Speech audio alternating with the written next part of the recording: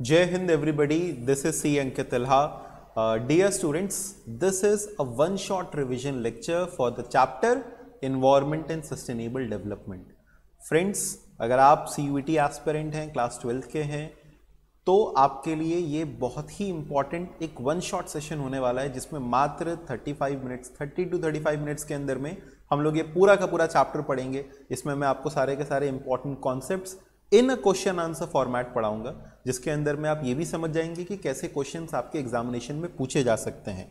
Almost आपकी पूरी किताब with all the relevant points इसके अंदर में कवर्ड अप है। ये नोट्स जो मेरे हैं एकदम कंसाइज तरीके से पॉइंट बाय पॉइंट किए हुए, अगर आप इनको रेफर करना चाहते हैं तो बस आपको एक लिंक मिल जाएगा, जिसके ऊपर में आप वो फॉर्म फिलअप करके आपको इमिडिएटली फिर इसका डाउनलोड लिंक मिल जाएगा। तो बस आपको उस लिंक पे क्लिक करना है, एक छोटा सा फॉर्म रहेगा, जैसे ही फिलअप करेंगे, आपके पास तुरंत का तुरंत वो डाउनलोड हो जाएगा कि आप इन नोट्स को भी डाउनलोड कर सकें। तो बहुत ही ईजी सा प्रोसेस है। पहले इसको पूरा पढ़ लीजिए। करना क्या है? थर्टी मिनट्स आराम से रिलैक्स करके सारी चीज़ों फ्री होकर पहले इसको पढ़िए। फिर उसके बाद आप इन नोट्स को प्रिंट करके अपने पास रखिए, इसके थ्रू रिवाइज करिए और बिंदास अपने एग्ज़ाम्स देने जाइए। जो सीयूटी के एस्पिरेंट्स हैं, खास करके उनके लिए एक अलग से एमसीक्यू सेशन भी रिकॉर्ड होता है। तो चलिए स्टार्ट करते हैं अपना आज का सेशन आ, सबसे पहले इस चैप्टर में हम लोग पढ़ते हैं कि इन्वायरमेंट का मतलब क्या होता है? How can we define environment we say environment is defined as the total planetary inheritances जो भी कुछ हमारे अगल बगल में है that is all a part of environment तो environment is defined as the total planetary inheritances and the totality of all resources जितने भी रिसोर्सेज हैं, सब कंबाइन करके, चाहे वो लिविंग हो नॉन लिविंग हो, सब जोड़ जाड़ करके जो आता है that is called as environment it includes biotic and abiotic factors biotic का मतलब जो लिविंग है ए बायोटिक का मतलब जो नॉन लिविंग है, दोनों प्रकार के फैक्टर्स ये तो डेफिनेशन हो गई इन्वायरमेंट की. इसके फ़ंक्शंस क्या हैं? ये भी आपसे पूछा था कि what are the functions of environment तो इन्वायरमेंट के चार मेन फ़ंक्शंस होते हैं. पहला फ़ंक्शन होता है इन्वायरमेंट का कि इट सप्लाईज रिसोर्सेज ये रिसोर्सेज सप्लाई करता है। चाहे आपको रिन्यूएबल रिसोर्सेज चाहिए या नॉन रिन्यूएबल रिसोर्सेज चाहिए। रिन्यूएबल रिसोर्सेज का मतलब वो रिसोर्सेज जो कि रिन्यू होते जाते हैं जल्दी जल्दी, बहुत जल्दी डिप्लीट नहीं होंगे, खत्म नहीं होंगे। नॉन रिन्यूएबल का मतलब वो रिन्यू नहीं होते हैं तो वो जल्दी डिप्लीट हो जाएँगे, खत्म हो जाएँगे। तो renewable resources are those which can be used without the possibility of resources becoming depleted or exhausted. That is, a continuous supply of the resources will remain available. जैसे trees in the forest and fishes in the ocean आप कहेंगे sir trees भी तो खत्म हो रहे हैं। Renew भी होते जा रहे हैं। अब हम बहुत तेज़ी से डिप्लीट करेंगे तो कुछ भी खत्म हो जाएगा। लेकिन ये रिन्यूएबल है। Non renewable on the other hand are which get exhausted with extraction and use for example fossil fuel ये पहला इसका था। क्या?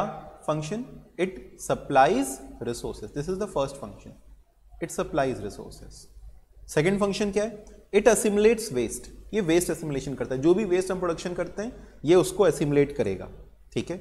दूसरा फ़ंक्शन इट असिमुलेट्स वेस्ट तीसरा it sustains life by providing genetic and biodiversity हम लोगों ने पढ़ा है पहले भी कि अपना वो फ़ूड चेन ना हो, बड़े से लेकर के छोटा जीव तक ना हो तो अपना जो जीवन है वो नहीं चल पाएगा लाइफ साइकिल नहीं चल पाएगा।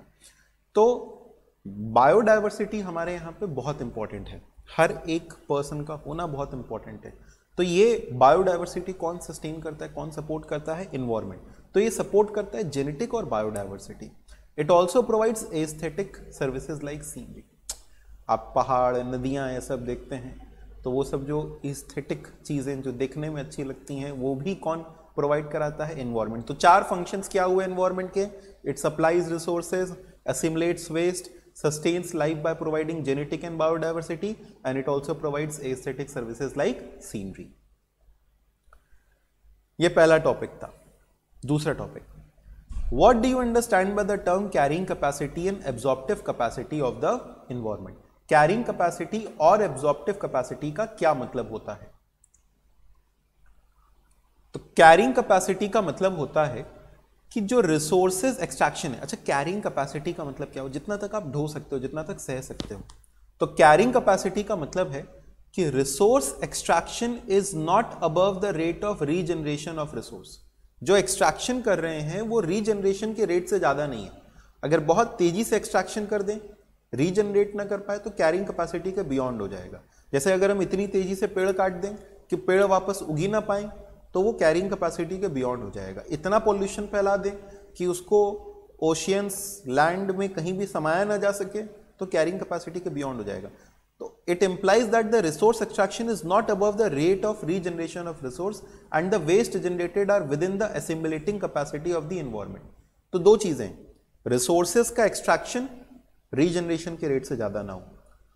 वेस्टेज का जनरेशन हमारी असिमुलेटिंग कैपेसिटी के अंदर अंदर हो। तो हम कहेंगे कि we are within the carrying capacity जब ऐसा नहीं होता है when this is not so the environment fails to perform its third and vital function वो अपना एक तीसरा फ़ंक्शन जो लाइफ सस्टेनिंग फ़ंक्शन है, हम लोगों ने पढ़ा था ना इट सस्टेन्स लाइफ तो जो लाइफ सस्टेन करने का फ़ंक्शन है, वो फेल कर जाएगा, अगर आपने एक्सेसिव रिसोर्स एक्सट्रैक्शन किया, अगर आपने एक्सेसिव वेस्ट जनरेशन किया. तो सिंपल सा बात है कि अगर आपने वन और टू का दुरुपयोग किया तो थ्री वाला गड़बड़ा जाएगा। याद रहेगा ऐसे आपको? वन और टू का दुरुपयोग किया एक्सेसिव रिसोर्स एक्सट्रैक्शन किया, या एक्सेसिव वेस्ट जनरेशन किया तो थर्ड वाला गड़बड़ा जाएगा बायोडाइव यानी सस्टेन लाइफ नहीं कर पाएगा। अच्छा सर एब्जॉर्प्टिव कैपेसिटी शब्द का मतलब क्या है?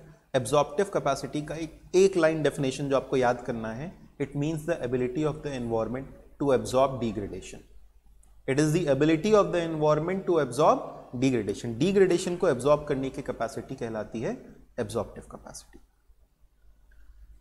तीसरा टॉपिक कहा जाता है कि opportunity cost of negative environmental impacts are high यानी आप इन्वायरमेंट को नुकसान पहुँचा रहे हो। एक बार के लिए आप अपनी ज़रूरत पूरी कर ले रहे हो। पेड़ काट रहे हो, आपको लकड़ी मिल जा रही है। लेकिन इसका जो एक अपॉर्चुनिटी कॉस्ट है, बहुत हाई है। कुछ पाने के लिए कुछ खोना पड़ता है, उसे कहते हैं अपॉर्चुनिटी कॉस्ट तो आप पेड़ काट के लकड़ी तो ले रहे हो, लेकिन उसका जो नेगेटिव अपॉर्चुनिटी कॉस्ट है, वो बहुत हाई है। सर, कैसे करके? क्या ये सही बात है? बिल्कुल सही बात है। The given statement holds true in today scenario तो आपको ये स्टेटमेंट दिया जाएगा, कहा जाएगा, समझाओ। The intensive extraction of vital resources has compelled to spend huge amount of technology and research to explore new resources. जो इंटेंसिव एक्सट्रैक्शन वाइटल रिसोर्सेज का होता है, उसने कंपेल किया है कि आप ह्यूज अमाउंट स्पेंड करें टेक्नोलॉजी और रिसर्च के ऊपर। हमको चाँद के ऊपर पानी इसलिए खोजना पड़ रहा है क्योंकि धरती का पानी हम लोग खत्म कर रहे हैं। तो intensive extraction of vital resources जो वाइटल रिसोर्सेज है, उनका इतना एक्सट्रैक्शन कर रहे हैं, इसके कारण हम कंपेल हो गए कि कोई नई टेक्नोलॉजी या रिसर्च करें ताकि नए रिसोर्सेज का तलाश किया जा सके। उसका खर्च लगता है नए रिसोर्सेज नई टेक्नोलॉजी को डेवलप करने का। There is an added health cost of degraded environmental quality health बिगड़ती है। जब इन्वायरमेंट बिगड़ता है तो हेल्थ भी बिगड़ती है। एयर और वाटर क्वालिटी खराब होती है। और ग्लोबल इन्वायरमेंटल इश्यूज़ जैसे कि ग्लोबल वार्मिंग ओजोन डिप्लीशन इन सब के कारण गवर्नमेंट की फाइनेंशियल कमिटमेंट्स इंक्रीज हो जाती है। It leads to increase financial commitments for the government अब उसके कारण गवर्नमेंट को क्या है? जैसे जगह जगह पे अलग तरीके से प्लांटेशंस करने पड़ते हैं। जगह जगह पे स्टेप्स लेने पड़ते हैं कि आ, गर्मी कंट्रोल हो ठंड है तो ठंड कंट्रोल हो। तो ये जो इन्वायरमेंटल इम्बैलेंस होता है ग्लोबल वार्मिंग हो रही है ओजोन डिप्लीशन हो रहा है इन सब के कारण गवर्नमेंट को बहुत से करेक्टिव स्टेप्स लेने पड़ रहे हैं जिसके कारण उसका फाइनेंशियल बर्डन बढ़ जा रहा है।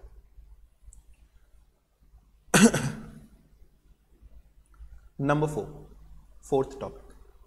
क्या इन्वायरमेंटल प्रॉब्लम्स आपसे पूछा जाता है।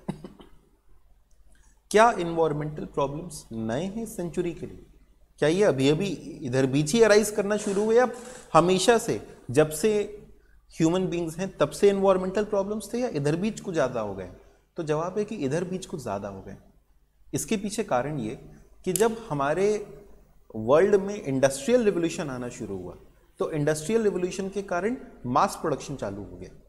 तो हम जब इतना ज़्यादा प्रोडक्शन करने लगे तो फिर रिसोर्सेज हमारे तेज़ी से ख़त्म होने लगे। अभी तक क्या हो रहा था कि प्रोडक्शन स्लो था रिसोर्सेज का एक्सट्रैक्शन कम था वेस्ट जनरेशन भी कम था। अब रिसोर्सेज का एक्सट्रैक्शन तेज़ हो गया वेस्ट जनरेशन फास्टर हो गया ह्यूमन पॉपुलेशन तेज़ी से ग्रो करने लगी। तो ये जो इन्वायरमेंटल कंसर्न्स हैं, वो इधर बीच कुछ डिकेड से ज़्यादा हो रहे हैं, हमेशा से इतने नहीं थे। तो yes environmental problem are more of a recent phenomena in early days when civilisation just began और before this phenomena phenomenal increase in population phenomenal मतलब जो इतना तेज़ी से इंक्रीज किया है and before countries took to industrialisation the demand for environmental resources and services was very less than their supply जो उनकी डिमांड थी, वो कम थी, लेकिन सप्लाई ज़्यादा थी. It was less than their supply this meant that the pollution was within the absorptive capacity जो rate of extraction था was let less than the rate of regeneration extraction धीमे धीमे होता था. रीजनरेशन फास्टर होता था. Hence environmental problems did not arise लेकिन फिर क्या हुआ? पॉपुलेशन एक्सप्लोजन और इंडस्ट्रियल रिवोल्यूशन इसके कारण जो लोगों की नीड्स है वो बढ़ने लगी. और जो डिमांड फॉर रिसोर्सेज है प्रोडक्शन करने के लिए कंजम्पशन करने के लिए, वो रेट ऑफ़ रीजनरेशन से ज़्यादा हो गया। इसके कारण हम अपनी एब्जॉर्प्टिव कैपेसिटी से ज़्यादा कंज्यूम करने लगे, ज़्यादा वेस्ट प्रोडक्शन करने लगे। This trend continues even today two major environmental concerns today are pollution and waste generation हालाँकि इसका पॉइंट नहीं होना चाहिए था, कि हम कह सकते हैं कि एयर पॉल्यूशन सॉइल पॉल्यूशन ये सब और वेस्ट जनरेशन ये आज के समय के हमारे कुछ मेजर इन्वायरमेंटल कंसर्न्स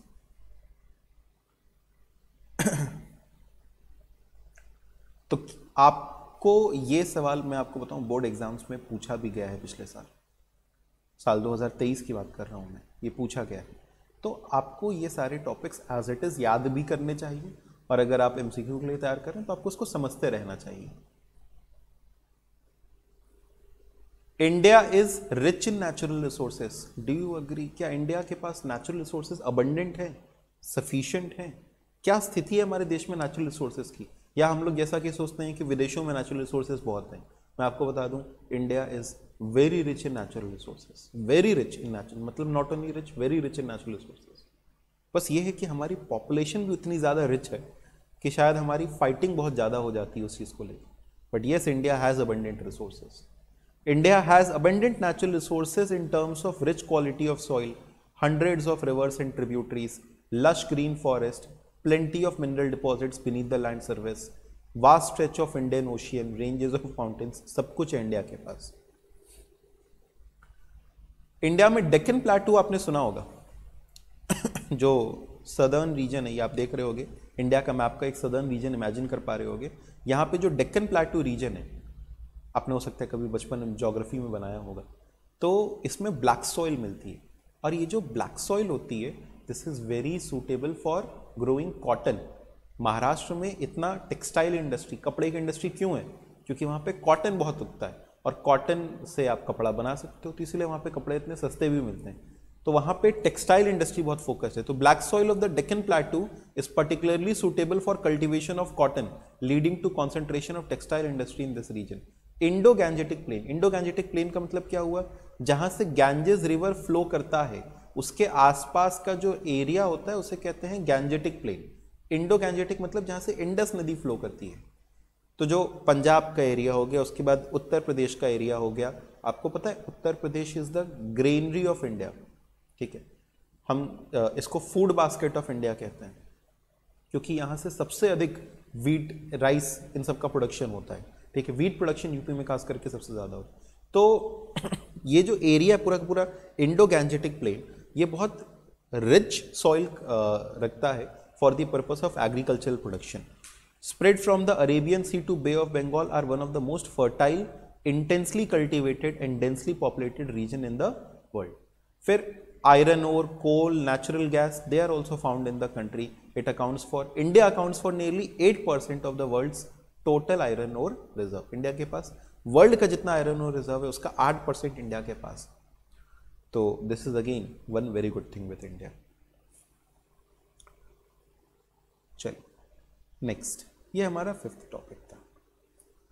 एक पॉइंट है, छोटा सा आपकी एनसीईआरटी में दिया हुआ है कभी कभी पूछ लिया जाता है, कि the threat to India's environment poses a dichotomy dichotomy यहाँ पे हम कह सकते हैं दुविधा की सिचुएशन है। देखो, दुविधा इस बात की है कि हम क्या करें आखिर? मतलब पेड़ ना काटें तो लोगों को ऐसे ही छोड़ दें, उनके लिए घर ना बनाएँ, उनको रहने की जगह न दें, या पेड़ काटें तो हम पॉल्यूशन फैलाएँ, हम दिक्कत खड़ी करें इन्वायरमेंट को हार्म पहुँचा रहे हैं। तो इसे दुविधा की सिचुएशन कहते हैं। तो there is a threat of poverty induced we have poverty induced environmental degradation यानी जब पॉवर्टी होती है तो इन्वायरमेंटल डिग्रेडेशन भी होता है। And at the same time threat of pollution from affluence and rapidly growing industrial sector यानी अगर कुछ नहीं करेंगे तो पॉवर्टी होगी। पॉवर्टी होगी तो भी दिक्कत होगा। उससे भी इन्वायरमेंटल डिग्रेडेशन होता है। जब गरीबी होती है तो लोग अगेन गरीबी के कारण भी बहुत हार्म पहुँचा सकते हैं। और अगर हम गरीबी न रहने दें इंडस्ट्रीज़ को प्रमोट करें तो वो भी अपना इंडस्ट्रीज़ भी इन्वायरमेंटल डिग्रेडेशन करेंगे। तो ये डायकोटॉमी की सिचुएशन है। ठीक है? Next what are some of the major environmental concerns in India India के कुछ सबसे बड़े इन्वायरमेंटल कंसर्न्स कौन से हैं? तो इंडिया के मेजर इन्वायरमेंटल कंसर्न्स हैं air pollution water contamination soil erosion deforestation wildlife extinction are some of the most pressing environmental concerns of India जिसके कुछ प्रायोरिटी इश्यूज़ यहाँ पर दिए गए पहला लैंड डिग्रेडेशन यानी जो हमारे लैंड पॉल्यूशन होता है, ठीक है सॉइल इरोजन होता है, ये सब का सब लैंड डिग्रेडेशन का पार्ट है। बायोडाइवर्सिटी लॉस होना air pollution management of fresh water fresh water मतलब जो पीने लायक पानी है, वो कम होते जा रहा है। पानी तो बहुत है, पीने लायक कम है। सॉलिड वेस्ट मैनेजमेंट ये सब कुछ मेजर इन्वायरमेंटल कंसर्न्स इंडिया के अंदर में है, ये आपको याद रखना है। ठीक है? नेक्स्ट आपसे पूछा जाता है कि लैंड डिग्रेडेशन क्यों हो रहा है? क्या फैक्टर्स हैं इस बात के लिए रिस्पॉन्सिबल कि there is land degradation in India तो लैंड डिग्रेडेशन के ये कुछ फैक्टर्स हैं, जैसे लैंड डिग्रेडेशन मेनली क्यों होता है? डिफॉरेस्टेशन करते हैं तो जो सॉइल का कवर है, वो लूज हो जाता है। सॉइल कवर लूज होने के कारण डिग्रेडेशन होता है, यानी वो सॉइल इरोजन होता है। तो loss of vegetation cover occurring due to deforestation unsustainable fuel wood and fodder extraction shifting यानी एक्सेसिव फॉर्डर एक्सट्रैक्शन या wood extraction shifting cultivation shifting cultivation क्या होता है? स्लैश एंड बर्न कल्चर एक जगह को काटा, खेती किया, फिर उसको वहीं पे छोड़ दिया। फिर दूसरी जगह पे काटा खेती किया यानी काटा मतलब उस जगह को आ, उस जगह के पेड़ वेड़ काटा वहाँ पे खेती किया फिर जगह को ऐसे छोड़ दिया। तो वो जगह कुछ समय बाद बंजर हो जाती है। तो उसे कहते हैं शिफ्टिंग कल्टीवेशन ये इन्वायरमेंट के लिए नुकसानदेह होता है। Encroachment into forest land forest land में घुसना वहाँ के इन्वायरमेंट को नुकसान पहुँचाना ज़मीन को नुकसान पहुँचाना पेड़ वगैरह बेसिकली काटना फॉरेस्ट फायर्स करना ओवर ग्रेजिंग कराना non adoption of adequate soil conservation measure soil conservation के लिए जो सही तरीका है वो ना अपनाना। गलत तरीके से क्रॉप रोटेशन करना। उससे क्या होता है कि कोई पर्टिकुलर सॉइल न्यूट्रिएंट हो सकता है, खत्म हो जाए एकदम सॉइल से। तो इम प्रॉपर क्रॉप रोटेशन करना। Indiscriminate use of agrochemicals such as fertilisers and pesticides बहुत ज़्यादा फर्टिलाइज़र या बहुत ज़्यादा पेस्टिसाइड यूज़ करने से भी सॉइल पोल्यूशन होता है। Improper planning and management of irrigation system extraction of ground water in excess of recharge capacity open access resource and poverty of agriculture dependent people तो आ, ये वो चीज़ें हैं ये वो चीज़ें हैं जो कि रिस्पॉन्सिबल है for land degradation in India open access resource का मतलब ये हो गया कि कोई भी किसी भी रिसोर्स को एक्सेस कर लेता है। यानी कोई भी किसी जगह पे घुस जाएगा उसको वो आ, जैसे अगर पेड़ हैं तो अपनी तरफ़ से काट लिया इस्तेमाल कर लिया कहीं पे घर बना लिया कुछ भी कर दिया उसे कहते हैं ओपन एक्सेस रिसोर्स ठीक है? एक्सेसिव ग्राउंड वाटर का एक्सट्रैक्शन करना poverty of agriculture dependent people जब एग्रीकल्चर के ऊपर बहुत ज़्यादा डिपेंडेंट हो जाते हैं तो ओवर ग्रेजिंग होती है तो इन सब कारणों से लैंड डिग्रेडेशन बढ़ रहा है। अगला टर्म जो हम लोग को इस चैप्टर में सीखना है दैट इज़ सस्टेनेबल डेवलपमेंट हम लोग सीखेंगे कि सस्टेनेबल डेवलपमेंट का क्या मतलब होता है और किसने किसने क्या क्या डेफिनेशन दिया है। दो तीन अलग अलग लोगों ने जिन्होंने अपना डेफिनेशन दिया है। हर किसी के डेफिनेशन हम लोग सीखेंगे। अगला टर्म है सस्टेनेबल डेवलपमेंट सस्टेनेबल डेवलपमेंट की डेफिनेशन सबसे पहली और सबसे इंपॉर्टेंट जो हम लोगों को पढ़नी है, वो दी हुई है यूएनसीईडी की। U N C D E C E D का मतलब हुआ United Nations Conference on Environment and Development United Nations Conference on Environment and Development यानी ये एक बेसिकली यूनाइटेड नेशंस की कॉन्फ्रेंस हुई थी। उसमें इन्होंने मिल करके सस्टेनेबल डेवलपमेंट का एक डेफिनेशन निकाला और वही डेफिनेशन हर जगह पे इस्तेमाल होता है। हर एक जगह पर आप देखेंगे यही डेफिनेशन लिखी हुई मिलेगी। क्या? Development that meets the need of the present generation without compromising with the ability of the future generation to meet their own needs आज की जरूरतों को इस प्रकार पूरा किया जाए कि फ्यूचर जनरेशन की नीड्स के साथ कोई कॉम्प्रोमाइज न किया जाए। तो आप अपनी ज़रूरत पूरा करो, लेकिन फ्यूचर के साथ भी कॉम्प्रोमाइज ना करो। Meeting the needs of the present generation without compromising with the ability of the future generation to meet their own needs this is definition given by UNCED अगला डेफिनेशन फिर इसके बाद एक एडवर्ड बारबियर ने दिया। बहुत इंपॉर्टेंट नहीं है ये, फिर भी याद कर सकते हैं। It defined sustainable development as one which is directly concern with increasing the material standard of living of the poor at the grass root level अब इसको आप याद कर सकते हो अपने एमसीक्यू के लिए भी। हो सकता है ये डेफिनेशन देके पूछा जाए, किसने ये डेफिनेशन दिया? तो इन्होंने कहा कि sustainable development is directly concern with increasing the material standard of living standard of living बढ़ाना at the grass root level हर किसी को पानी, रहने की सही सुविधाएँ मिले. That is sustainable development only the rich gets richer and the poor gets poor that is not sustainable development ठीक है? बिल्डिंग बन रही है, लेकिन जो एयर है, वो पॉल्यूटेड होती जा रही है। तो at the grass root level people will suffer हर कोई एसी नहीं लगा पाएगा। हर कोई एयर प्योरीफायर नहीं लगा पाएगा। तो it is improving the standard of living at the grass root level this can be quantitatively measured with following चीज़ें। इन चीज़ों से इसको मेजर करो। क्या? Increase income real income educational services में सुधार होना हेल्थ केयर बेटर होना सैनिटेशन वाटर सप्लाई बेटर होना, ये चीज़ें अगर बेहतर हो रही हैं तो कहा जाएगा एडवर्ड बारबियर की भाषा में कि सस्टेनेबल डेवलपमेंट है। The key term is improvement in material standard of living और तीसरा डेफिनेशन दिया गया ब्रंटलैंड कमीशन का। इन्होंने कहा कि भाई, ये जो धरती है, ये हमने इनहेरिट नहीं किया है। हमको ऐसा नहीं इनहेरिटेंस में यानी मिल गया है कि भाई ये धरती लो हमारी हुई। नहीं, हमने इसको इनहेरिट नहीं किया है from our past generation we have taken it on a loan हमने इसको एक तरीके से उधार लिया अपने फ्यूचर जनरेशन से। तो हम जितना ले रहे हैं उतना आगे देने की हमारी ज़िम्मेदारी भी है। तो at least we should have we should leave to the next generation a stock of quality of life assets stock of quality of life assets मतलब जो पेड़ पहाड़ पौधे पानी ये सब क्वालिटी ऑफ़ लाइफ असेट्स जो हमको मिल रहे हैं वो हमको जितने इनहेरिट किए हैं कम से कम उतने तो हमको आगे पहुँचान करने चाहिए। ये हमारी रिस्पॉन्सिबिलिटी है। इसका आ, मतलब ये सस्टेनेबल डेवलपमेंट कहलाएगा। ब्रेंटलिन कमीशन के अकॉर्डिंग कि हमने जितना quality of life assets inherit किया है, उतना हम आगे पास ऑन करें। इसके बाद एक भाई साहब आए, हरमन डेली। हरमन डेली ने कुछ बड़ी मज़ेदार बातें कही कि भाई, इनके हिसाब से सस्टेनेबल डेवलपमेंट कैसा होना चाहिए। तो इन्होंने कहा कि अगर आपको सस्टेनेबल डेवलपमेंट करना है तो इन कुछ चार पाँच पॉइंट्स को आप फॉलो करो। ये इन्होंने पाँच फैक्टर्स दिए और कहा, इन पाँच फैक्टर्स को आप फॉलो करो अगर आपको सस्टेनेबल डेवलपमेंट चाहिए। तो what should be the strategy for sustainable development वो इन्होंने बताया। How to achieve sustainable development इन्होंने सबसे पहले कहा कि देखो भाई, आपकी धरती जो है ना एक शिप की तरह उस शिप के अंदर एक प्लिम्सन लाइन होती है जो कि बताता है कि शिप कहीं डूब तो नहीं रही। उसी प्रकार से आपकी धरती जो एक अर्थ है, उसका भी एक प्लिम्सन लाइन है। अगर ओवर पॉपुलेशन हो जाएगा तो फिर दिक्कत हो जाएगी। फिर वो थैनोस को चुटकी बजा करके पॉपुलेशन गायब करना पड़ेगा।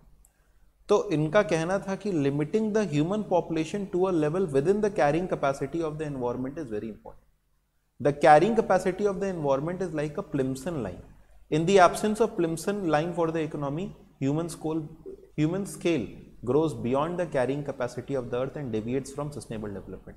तो इसको सीधी सरल भाषा में हम लोग कह सकते हैं we should control human population human population ये नहीं कि मार दो, लेकिन आगे जो ग्रोथ है, उसको थोड़ा कंट्रोल कर लिमिट कर। टेक्नोलॉजिकल प्रोग्रेस जो कर रहे हो, वो ऐसी नहीं होनी चाहिए कि इनपुट कंज्यूमिंग हो, वो इनपुट एफिशिएंट होनी चाहिए। हम लोग ऐसी टेक्नोलॉजी बनाए जिससे कि कम तेल लगे, कम पेट्रोलियम खर्चा हो, वो टेक्नोलॉजी बनाओ। ना कि वो टेक्नोलॉजी की नहीं, ये तो और ज़्यादा तेल पिएगी, लेकिन तेज चलेगी। नहीं, हमको तेज नहीं चलना चाहिए, हमको बचत भी करनी। It should be input efficient and not input consuming renewable resources should be extracted on a sustainable basis जो रिन्यूएबल रिसोर्सेज हैं, वो रिन्यू तो होंगे, लेकिन तब जब तुम बहुत तेज़ी से एक्सट्रैक्शन ना करो तो the rate of extraction should not exceed the rate of regeneration extraction उतना ही रेट से करो, या जिस रेट से रीजनरेट हो रहा है, उससे थोड़ा कम रेट से एक्सट्रैक्शन करो। Rate of extraction should not exceed the rate of regeneration for non renewable resources the rate of depletion should not exceed the rate of creation of renewable substitutes अगर non renewable resources हैं तो जो rate of depletion है, वो exceed नहीं करना चाहिए rate of creation of renewable substitute से। जैसे अगर कोई नॉन रिन्यूएबल चीज़ है फॉसिल फ्यूल है, अब तुम फॉसिल फ्यूल खत्म कर रहे हो, उसकी जगह पे हो सकता है सोलर एनर्जी डेवलप कर रहे हो। तो जिस रेट से तुम सोलर एनर्जी डेवलप कर रहे हो, कोई रिन्यूएबल रिसोर्स डेवलप कर रहे हो, उसी रेट से इसको एक्सट्रैक्ट करो। तो the rate of extraction of the non renewable resources should not exceed the rate of creation of renewable substitutes और आखिरी सजेशन हरमन डेली का सस्टेनेबल डेवलपमेंट के लिए वेरी इंपॉर्टेंट आखिरी सजेशन था inefficiencies rising from pollution should be corrected यानी जो air pollution water pollution के कारण दिक्कतें अराइज हो रही है, उसको धीमे धीमे सही करने की कोशिश करनी चाहिए। उसको कम करने की कोशिश करनी चाहिए। कोई दिक्कत आ गई तो उसको सुधारने की कोशिश करनी चाहिए। So inefficiencies rising from pollution should be corrected this is the tenth topic which we have covered अच्छा ये आपसे पूछे स्ट्रैटेजी फॉर सस्टेनेबल डेवलपमेंट या suggestions given by Herman Daly तो सेम आंसर रहेगा। ये पाँच टॉपिक्स आपको याद रखने हैं कि पॉपुलेशन को कंट्रोल करो टेक्नोलॉजिकल प्रोग्रेस इनपुट एफिशिएंट होना चाहिए इनपुट कंज्यूमिंग नहीं होना चाहिए। रिन्यूएबल रिसोर्सेज का एक्सट्रैक्शन रीजनरेशन से ज़्यादा नहीं होना चाहिए। नॉन रिन्यूएबल का extraction rate of creation of substitute से ज़्यादा नहीं होना चाहिए और इनएफिशिएंसीज को करेक्ट करते रहना चाहिए। क्या कुछ मेजर सोर्सेज हैं of energy for India what are the limitations और adverse environmental impacts? so, what are some of the major energy sources of, major sources of energy for india? कुछ major energy sources के बारे में बताओ। इसके क्या limitations हैं या क्या एडवर्स इन्वायरमेंटल इम्पैक्ट है? तो इंडिया ह्यूजली डिपेंडेंट है on thermal and hydro power plants to meet its power needs India के लिए जो सबसे मेजर इन्वायरमेंटल रिसोर्स है, वो है थर्मल और हाइड्रो एनर्जी इन दोनों के ही नेगेटिव इन्वायरमेंटल इम्पैक्ट है। जैसे थर्मल एनर्जी का क्या नेगेटिव इन्वायरमेंटल इम्पैक्ट है? थर्मल एनर्जी यानी कोयला जला करके जो हम लोग एनर्जी प्रोड्यूस करते हैं, उससे कार्बन डाइऑक्साइड लार्ज अमाउंट में एमिट होता है। कार्बन डाइऑक्साइड एक ग्रीन हाउस गैस है।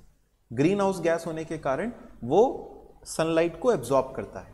और सनलाइट को एब्जॉर्ब करता है तो फिर उससे हमारी जो अर्थ का टेम्परेचर है वो बढ़ता जाता है। It also produces fly ash जब आप कोयला जलाएँगे तो उससे फ्लाई एश प्रोड्यूस होगा। Which if not use properly can cause pollution of water bodies land and other components of the environment तो ये भी एक दिक्कत है किसकी? थर्मल एनर्जी की। हाइड्रो इलेक्ट्रिसिटी में क्या दिक्कत होती है? हाइड्रो इलेक्ट्रिसिटी आप प्रोड्यूस करते हैं टर्बाइंस को मूव करके। अब देखो, जब किसी नदी के ऊपर में डैम बनाया जाता है तो उस डैम बनाने के कारण क्या होता है? उधर उस एरिया की जो फ्लोरा एंड फोना है, जो भी वहाँ के जीव जंतु हैं, वो सब नष्ट हो जाते हैं। पूरा एक एरिया बड़ा सारा डूब जाता है पानी के अंडर में। तो वो डैम बनाने से flora and fauna loss of vegetation cover जो है ये सारी दिक्कतें होती हैं। तो hydro electric projects inundate forest and interfere with the natural flow of water in catchment area मतलब जहाँ पे आकर के रुकते हैं इन रिवर बेसिन्स तो इससे जो नेचुरल फ्लो ऑफ़ वाटर है, वो ख़त्म हो जाता है। ठीक है? तो क्या मेजर सोर्सेज हैं? दो हैं थर्मल और हाइड्रो और इसका क्या एडवर्स इंपैक्ट है? ये आपने पढ़ लिया। I hope this was clear अब लास्ट टॉपिक एक हम लोग इसमें पढ़ने वाले हैं कि एक शॉर्ट नोट लिख करके बताइए कि इंडिया में सस्टेनेबल डेवलपमेंट के लिए क्या स्ट्रैटेजीज होनी चाहिए। What should be the strategy for sustainable development in India तो सस्टेनेबल डेवलपमेंट सस्टेनेबल डेवलपमेंट के लिए आपको ऑब्वियसली अपने एनर्जी रिसोर्सेज को बदलना पड़ता है। आप थर्मल एनर्जी और हाइड्रो इलेक्ट्रिसिटी के ऊपर में आप डिपेंड नहीं कर सकते। तो बेसिकली इसमें आपको सस्टेनेबल डेवलपमेंट के एग्ज़ाम में पूछ लेता है। सस्टेनेबल डेवलपमेंट के कोई दो तरीके बताओ। तो आपको ये सारे तरीके बताए गए हैं सस्टेनेबल डेवलपमेंट के लिए। ठीक है? आइए एक एक करके फटाफट पढ़ते हैं। सबसे पहला है एलपीजी गोबर गैस इन रूरल एरियाज़ आप एलपीजी का यूज़ करिए। LPG is liquefied petroleum gas ये और कुछ नहीं, जो हमारे घर में गैस सिलेंडर आता है, वही है। लेकिन उस गैस सिलेंडर से कोई पॉल्यूशन नहीं होता। तो एलपीजी का यूज़ करें। सर, हर कोई तो करता है? नहीं। गाँव में लकड़ी जलाई जाती है, गोबर जलाया जाता है, जिसके कारण बहुत धुआँ उड़ता है। तो वो धुआँ और ख़ास करके लकड़ी जलाने के लिए पेड़ काटे जाते हैं। तो एलपीजी गैस जो है, ये क्लीनर ऑल्टरनेटिव है। गोबर गैस बनाया जाता है बायो वेस्ट से। तो जितना भी बायो वेस्ट है, उसको गोबर गैस प्लांट में डाला जाता है। वहाँ से जो फर्मेंटेशन के प्रोसेस के बाद गैस प्रोड्यूस होती है, वो गोबर गैस है। वो भी एक क्लीन एनर्जी रिसोर्स है। तो एलपीजी या गोबर गैस का यूज़ करना। अब इसके अंदर में देखो, कई बार हम लोग ऐसी कर्स को इग्नोर कर देते हैं कि नहीं, अगर अगर आप थीरी के लिए पढ़ रहे हैं तो मैं आपको बता रहा हूँ। अदरवाइज़ एमसीक्यू के लिए इतना काफ़ी है। लेकिन अगर आप थीरी के लिए पढ़ रहे हैं तो कई बार हम लोग उसको उतने में इग्नोर कर देते हैं। बट आई वुड सजेस्ट कि आप इतना मैटर एक बार थोड़ा बहुत याद करके जाना। ज़्यादा नहीं है, मैंने छः पन्ने में पूरा चैप्टर समेट दिया है, लेकिन इतना याद करके जाना। ये अगर आप याद करके जाओगे तो आप अपने एग्ज़ाम्स में कॉन्फिडेंटली अपियर कर सकते हो कि हाँ हम कर लेंगे।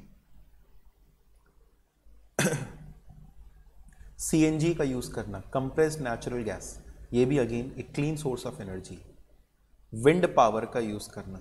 विंड पावर अच्छा विंड पावर अगेन एक टर्बाइंस को मूव कराया जाता है with the help of wind energy solar power through PVC cells photovoltaic cells होते हैं। जिसके थ्रू, एक केमिकल रिएक्शन के थ्रू सोलर एनर्जी को कन्वर्ट किया जाता है इलेक्ट्रिसिटी में। इसके बाद मिनी हाइडल प्लांट्स आप जानते हैं मिनी हाइडल प्लांट्स क्या होते हैं? जो माउंटेन से आने वाली छोटी छोटी ट्रिब्यूटरीज होती हैं। इन ट्रिब्यूटरीज के ऊपर में अगर आप एक हाइड्रोइलेक्ट्रिक प्लांट इंस्टॉल कर दें तो इससे कोई फ्लोरा एंड फोना का भी खास नुकसान नहीं पहुँचता, क्योंकि ये बहुत बड़ा साइज़ का नहीं होता, छोटा साइज़ का होता है। प्लस यहाँ के जो आसपास के रीजन्स हैं, इनमें बड़े आसानी से इलेक्ट्रिसिटी सप्लाई हो जाती है। तो जब लंबे एरिया में हमको इलेक्ट्रिसिटी सप्लाई नहीं करनी होती तो ट्रांसमिशन लॉस नहीं होता। इलेक्ट्रिसिटी सप्लाई होते वक्त ट्रांसमिशन लॉस होता है। यानी ट्रांसफॉर्मर्स क्यों लगाए जाते हैं? ताकि ये लॉस कम हो। तो ट्रांसमिशन लॉस बहुत तेज़ी से होता है। लेकिन अगर अगल बगल में ही हमको देना है तो ट्रांसमिशन का लॉस नहीं होता। वो अगल बगल के एरियाज़ की नीड पूरी हो जाती है। उनका काम पूरा चल जाता है। और ये पेरेनियल सोर्स है मतलब साल भर इनको इलेक्ट्रिसिटी इसके थ्रू मिलती रहती है। तो ये जो मिनी हाइडल प्लांट्स हैं, जो कि माउंटेनियस रीजन्स में इंस्टॉल किया जाता है, ये एक बहुत अच्छा रिसोर्स है आपके लिए एनर्जी का मिनी हाइडल प्लांट्स अगला है ट्रेडिशनल नॉलेज एंड प्रैक्टिसेस अगर आप ट्रेडिशनल नॉलेज का इस्तेमाल करें, जो कि पहले किया जाता था, कि नहीं हमको मच्छर भगाना है तो नीम की पत्तियों को जला करके इस्तेमाल करें, या फर्टिलाइज़र जो है उसको ट्रेडिशनली कैसे बनाया जाता था, एग्रीकल्चरल वेस्ट के थ्रू या बायो वेस्ट के थ्रू। तो अगर उस ट्रेडिशनल नॉलेज का यूज़ किया जाए तो भी आप काफ़ी हद तक सस्टेनेबल डेवलपमेंट अचीव कर सकते हैं। बायो कंपोस्टिंग का मतलब होता है using your biological waste your any sort of basically biological waste या any kind of solid waste for producing compost compost is basically fertiliser तो फर्टिलाइज़र बनाने के लिए आप केमिकल फर्टिलाइजर्स का यूज़ करने की जगह अगर आप बायोलॉजिकल वेस्ट का इस्तेमाल करते हैं, उसको फर्मेंटेशन प्रोसेस के थ्रू बायोगैस प्लांट्स के अंदर में अगर आप कंपोस्ट बनाते हैं उसका तो उस प्रोसेस को हम लोग कहते हैं बायो कंपोस्टिंग तो in certain parts of the country cattle are maintain only because they produce dung यानी उनके जो, हिंदी में कहें तो गोबर जो बनता है वो गोबर के लिए रखा जाता है क्योंकि उस गोबर से फिर फर्टिलाइज़र बनता है और वो एक बहुत अच्छा सॉइल कंडीशनर होता है। तो बायो कंपोस्टिंग अगेन एक तरीका हो सकता है केमिकल फर्टिलाइजर्स को रिप्लेस करने का। फिर नेक्स्ट है बायोपेस्ट कंट्रोल बायोपेस्ट कंट्रोल के क्या क्या तरीके हो सकते हैं? आपसे ये पूछा जाता है। तो बायोपेस्ट कंट्रोल के तीन तरीके हो सकते हैं। एक होता है नीम ट्रीज का यूज़ करना। नीम ट्रीज में आप नीम के पत्ते जला सकते हैं। मिक्स्ड क्रॉपिंग करना। मिक्स्ड क्रॉपिंग में क्या करते हैं? एक रो में एक क्रॉप उगाएँगे, दूसरे रो में दूसरा क्रॉप। तो मान लो अगर ये रो में कीड़ा लग भी जाए तो आजू बाजू में कीड़ा नहीं लगेगा, क्योंकि अगल बगल में अलग तरीके का क्रॉप है। तो इसे कहते हैं मिक्स्ड क्रॉपिंग। मिक्स क्रॉपिंग करने से एक जगह पे कीड़ा लगता है तो दूसरी जगह पे वो फैलता नहीं और सब जगह पे एक जैसे अगर पेड़ हो तो एक से दूसरे दूसरे से तीसरे में फैल जाता है। इसे कहते हैं mixed cropping. Growing different crops in consecutive years on same land have also help farmers अच्छा यहाँ पे एक और चीज़ की बात कर रहा है कि आप अलग अलग समय पे अलग अलग सीज़न में अलग अलग क्रॉप्स उगाओ उससे सॉइल की फर्टिलिटी भी बनी रहती है। Awareness in spreading out about various animals and birds which help in controlling pest कुछ ऐसे बर्ड्स एनिमल्स रखना जो कि पेस्ट कंट्रोल में हेल्प कर सकें। जैसे कहा जाता है पीकॉक या बाद बाकी चीज़ें रैट्स जो कि अलग अलग मच्छरों को या बाद बाकी चीज़ों को खा जाएँ, ऐसे जानवर रखने से भी हेल्प हो सकती है बायोपेस्ट कंट्रोल में। मेरे सेशन में दो टॉपिक्स कवर अप नहीं हुए हैं। एक है ओजोन डिप्लीशन ओजोन डिप्लीशन का मतलब होता है जब harmful C F C gases के कारण सी एफ़ सी का मतलब हो गया क्लोरोफ्लोरोकार्बन जब harmful C F C gases के कारण ओजोन लेयर हमारे अर्थ की डिप्लीट होती है। ये अर्थ है। अर्थ के ऊपर अलग अलग लेयर्स में एटमॉस्फेयर है। एटमॉस्फेयर के अलग अलग लेयर्स होते हैं। उसी में एक लेयर होती है ओजोन लेयर ओजोन लेयर अगर ख़त्म हो जाती है तो जो सन रेज हैं, उसमें एक हार्मफुल यूवी रेज होती हैं, वो डायरेक्टली अर्थ तक पहुँचती हैं। अगर ये ओजोन लेयर ख़त्म हो जाएगी तो ये सन रेज फ़िल्टर नहीं होंगी। और अगर सन रेज फ़िल्टर नहीं होगी तो अर्थ में गर्मी बढ़ेगी, यूवी रेज डायरेक्टली आएँगे तो अलग अलग प्रकार के डिजीजेस होंगे जो हमारा क्लाइमेटिक पैटर्न है, वो बदलता है। तो ये सब दिक्कतें होती हैं ओजोन डिप्लीशन से। ओजोन डिप्लीशन से लड़ने के लिए एक प्रोटोकॉल साइन किया गया था जिसका नाम था? मॉन्ट्रियल प्रोटोकॉल मॉन्ट्रियल एक जगह का नाम है। यहाँ पे प्रोटोकॉल साइन किया गया था। उसका नाम पड़ गया मॉन्ट्रियल प्रोटोकॉल वैसे ही करके ग्लोबल वार्मिंग एक टर्म है, जो कि इंडिकेट करता है अगर हमारी अर्थ में ग्रीन हाउस गैसेज बढ़ जाती हैं तो ग्रीन हाउस गैसेज बढ़ने के कारण हमारे देश में ग्लोबल वार्मिंग आती है। ग्रीन हाउस गैसेज जैसे carbon dioxide is a greenhouse gas ऐसी गैसेस जो कि सनरेज को एब्जॉर्ब करे। सनरेज को एब्जॉर्ब करेंगे तो इससे अर्थ का टेम्परेचर बढ़ जाएगा और it will be called as global warming global warming के क्या साइड इफेक्ट्स होते हैं? ग्लेशियर्स मेल्ट होते हैं, जिसके कारण सी लेवल बढ़ जाता है और क्लाइमेटिक पैटर्न चेंज होता है अलग अलग प्रकार के डिजीजेज होते हैं। ये सब कुछ ग्लोबल वार्मिंग के साइड इफेक्ट्स हैं। तो ये दो और टॉपिक्स हैं जो कि आपको दिए हुए थे। उम्मीद है आपको ये सेशन समझ में आया होगा। भाई ये मेरा वन शॉट एकदम आपके लिए एग्ज़ाम से पहला एकदम तड़ाकेदार एकदम रिविजन होता है कि भाई आप अपने एग्ज़ाम्स के लिए इमिडिएट एकदम कॉन्फिडेंस जगा पाएँ। I hope you did like it this was C N K Tilha from लिल्हा education centre do study very well all the best from my side